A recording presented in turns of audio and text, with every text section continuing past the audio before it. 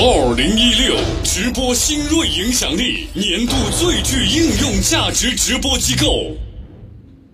曾经，他以一间出租屋、一台电脑、一个人教授 Photoshop 起家，如今课程服务接近三亿用户。